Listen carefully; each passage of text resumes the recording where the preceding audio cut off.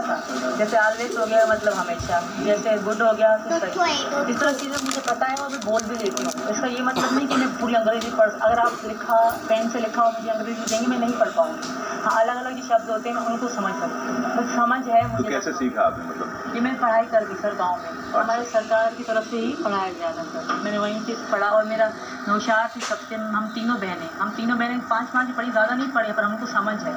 एक चीज़ की समझ हो जाए फिर सर पढ़ना आसान हो जाता है। तो मुझे वो समझ थी और मैं टीचर मुझे कहती हुई थी कि सीमा आप कराची में रहती थी ना? नहीं मेरा बचपन खैरपुर मीरस गाँव में गुजरा